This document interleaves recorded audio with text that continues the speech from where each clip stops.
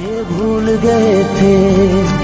एक घोंसला कैसे बनता है? एक दिन का देख के याद आया। पहले तो ठीक सोच आई हर तो फिर सोच के